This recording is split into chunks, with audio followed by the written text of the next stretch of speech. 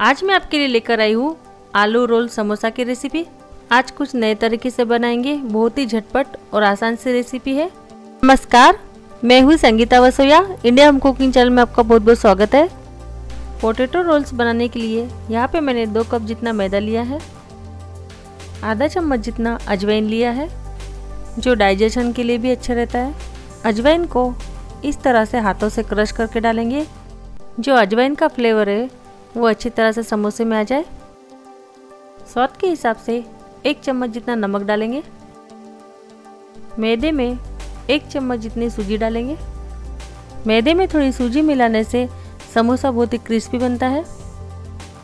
मोन लगाने के लिए दो चम्मच जितना शुद्ध देसी घी डालेंगे।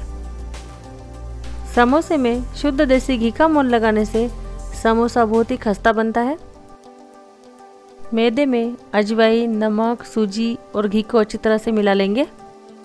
ये देखिए, अच्छी तरह से मिलाकर हमने मोइन लगा लिया है। अब इसमें थोड़ा थोड़ा पानी डालते जाएँगे और आटा गूंथते जाएँगे। ज़रूरत के हिसाब से थोड़ा थोड़ा पानी ऐड करते जाएँगे और आटा लगाते जाएँगे। आटा हम मीडियम से थोड़ा सख्त ही लगाएँगे।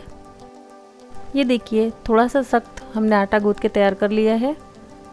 अब इसके ऊपर आधा चम्मच शुद्ध देसी घी से ग्रीस करेंगे। आटे में घी को ग्रीस करते हुए आटा अच्छी तरह से गूंथ लेंगे। अब हम गूथे हुए आटे को ढककर 20 मिनट रेस्ट होने के लिए छोड़ देंगे। आटा हमारा रेस्ट होता है तब तक हम आलू का स्टफिंग बना लेते हैं। स्टफिंग बनाने के लिए यहाँ पे मैंने बॉईल किए हुए छः आलू लिए हैं। उबले हुए आलू को हम इस तरह से कद्दूकस कर लेंगे। आप चाहे तो आलू को मैच भी कर सकते हो। कद्दूकस करने से आलू अच्छी तरह से मैच हो जाते हैं। ये देखिए, सभी आलू को मैंने इस तरह से कद्दूकस करके तैयार कर लिया है। अब इसमें दो से तीन बारीक चॉप की हुई हरी मिर्ची डालेंगे। अब इसमें एक इंच अदरक का पेस्ट डालेंगे। अब इसमें जाएँगी थोड़ी सी चिल्ली फ्लेक्स। दो बारीक चॉप करी हुई प्याज डालेंगे। आधा चम्मच धनिया जीरा पाउडर डालेंगे। एक चौथा चम्मच जितना हल्दी पाउडर डालेंगे। थोड़ा सा गरम मसाला डालेंगे। समोसे का टेस्ट और ज़्यादा चटपटा करने के लिए आधा चम्मच जितना चाट मसाला डालेंगे। दो चम्मच जितना चावल का आटा डालेंगे। यहाँ पे मैंने चावल को मिक्सिंग जाल में पीस के इसका पाउडर बना लिया है। चावल का आटा डालने से समोसे में बाइडिंग बहुत अच्छी मिलती है। एक चम्मच स्वाद के हिसाब से नमक डालेंगे। सारी चीज़ों को हाथों की मदद से अच्छी तरह से मिला लेते हैं। हमने जो इसमें डाले मसाले, प्याज, हरी मिर्ची, चावल का आटा वो सभी अच्छी तरह से मिक्स हो जानी चाहिए। अब इसमें जाएगा फ्रेश बारीक काटा हुआ हरा धनिया। हरे धनिया को अच्छी तरह से मिलाते हुए मिक्स कर लेते हैं। अच्छी तरह से मिलाने के बाद समोसे में भरने का हमारा आलू का मसाला बनकर तैयार हो गया है। अब हम स्टफिंग में से थोड़ा सा स्टफिंग लेके इस तरह से हाथों से घुमाते हुए इस तरह से लंबे शेप में आकार देके इसे तैयार कर लेते हैं। बस इसी तरह से लंबे शेप में हमें बना के तैयार कर लेना है। बस इस तरह से मैंने ये सारे बनाकर तैयार कर लिए ये देखिए। अब हम समोसे को चिपकाने के लिए स्लरी बनाएँगे। एक चम्मच मैदा लेंगे। मैदे में थोड़ा सा पानी ऐड करके इसे अच्छी तरह से मिक्स करते जाएँगे। अच्छी तरह से मिलाने के बाद स्लरी हमारी बनकर तैयार हो गई है। अब हम आगे का प्रोसेस करेंगे। गूते हुए आटे में से एक लोई लेकर हम इसे इस तरह से बेल लेंगे। इसे हम रोटी से भी बड़े साइज़ में बेल लेंगे। ये देखिए, इस तरह से मैंने इसे बड़ी साइज़ में बेल लिया है। अब हम रोटी को चार ओर से चाकू की मदद से काट लेंगे।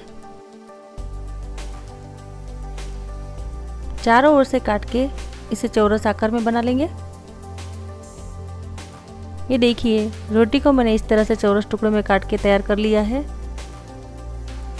अब हम इसे तीन भागों में काट के डिवाइड कर लेंगे। ये देखिए, इस तरह से काट के मैंने इसकी तीन लंबी पट्टी बना ली है। पट्टी के ऊपर एक साइड में हम आलू का स्टफिंग रखेंगे। स्टफिंग की ओर से इसे फोल्ड करते हुए रोल करेंगे।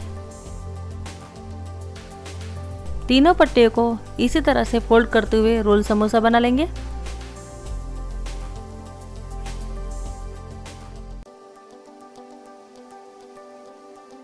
पट्टी के आगे की साइड में हम, हमने जो मैदे की स्लरी बनाई थी, उंगली की मदद से इसे लगा लेंगे।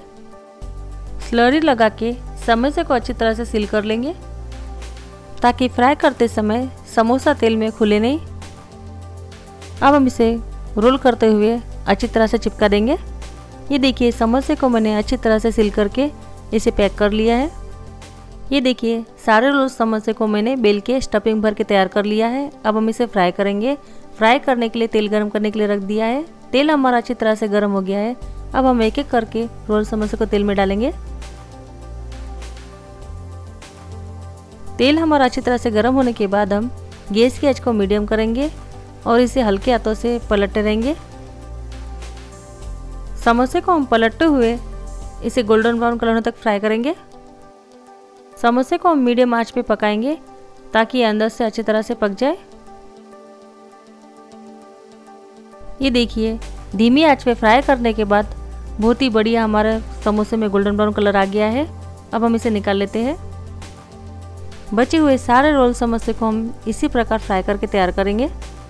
तो तैयार है हमारे एकदम क्रिस्पी, खस्ता रोल्स रोल समोसे। अब मैं इसे गर्मा गर्म सर्व करूँगी टमेटो केचप के साथ। तो फ्रेंड्स, है ना इसे बनाना बहुत ही आसान रेसिपी पसंद आए तो वीडियो को लाइक और चैनल को सब्सक्राइब ज़रूर करें। फिर मिलेंगे ऐसे ही मज़ेदार रेसिपी के साथ अगली वीडियो में। वीडियो देखने के लिए आपका बहुत बहुत धन्यवाद।